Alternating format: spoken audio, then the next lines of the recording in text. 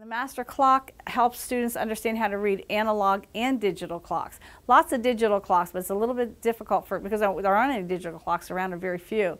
So this clock is set up as one clock. Um, but for time factor, I've had it set up so we don't have to take these hands off and put them back on again. All three hands are geared and removable.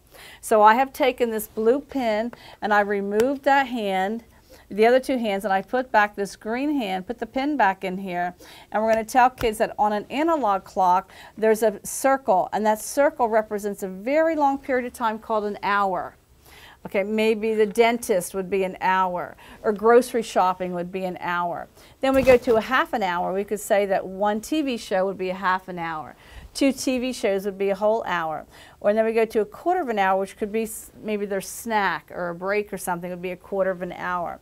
So we've broken that hour up into its fractional increments, and then we tell them on a clock face there are 12 hours. With that, we position our hour hand on here, which is this, um, the way I have it set up right here. Now we can actually begin to read uh, clocks, read, uh, tell time to the nearest hour. We know the green hand points up and the red hand's pointing to the four. So we have the digital part of the clock right here and the students have to turn this, these dials and match the digital with the analog time. So you know they can actually read the, the analog clock because they have to match that. So now it's 4 o'clock. And we're going to do some elapsed time. We're going to say it's 4 o'clock, but in two hours we're going to dinner. So how long, when would we go to dinner? So we're going to go one hour, two hours. So they can see it's 6 o'clock, we're going to dinner.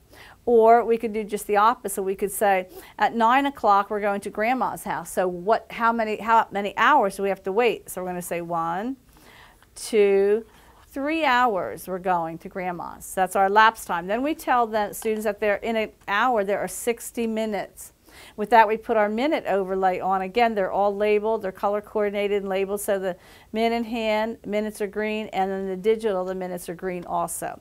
So let's say we're going to um, set the time at 9:10. So they have to set their the hour hand and the minute hand to be 9:10. Then we tell students that in a minute there are 60 seconds. So we put the second, over, second hand overlay on. We have the second hand on. The second hand is not geared. It is not geared. Just the minute and the hour hand are geared, but you can see how the three work. There is an accompanying workbook to go with the master clock, and we take students all the way for recognition of time through maybe fifth grade um, reading a, a, schedule, such as a bus schedule and so forth, okay? The workbook is similar to the Master Ruler workbook.